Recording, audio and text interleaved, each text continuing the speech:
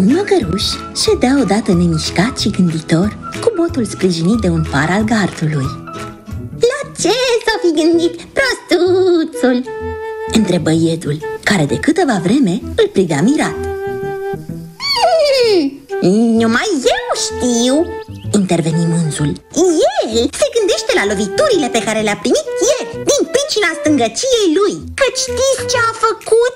A răsturnat ca un neghiop căruciorul cu zarzavaturi la care era înhămat. De altfel, aceasta îi se citește destul de bine pe fața lui mohorâtă.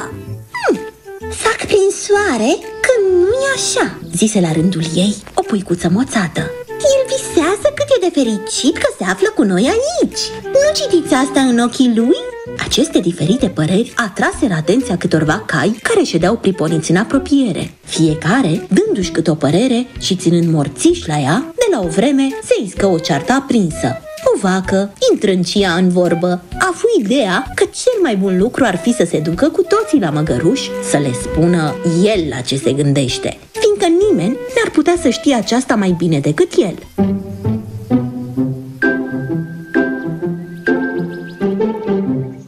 Se duseră deci și îl întrebară.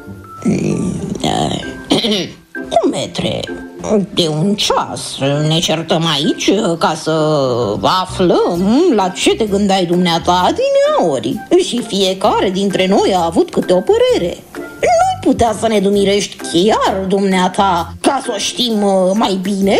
Măcărușul, dând de câteva ori din cap, greoi, ca un gânditor, le răspunse mm,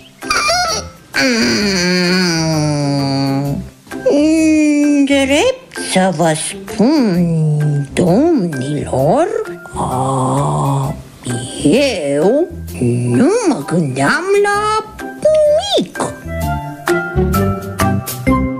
Morala Adeseori se stârnesc adevărate furtuni într-un pahar cu apă și se naște prea multă vorbă pentru nimic.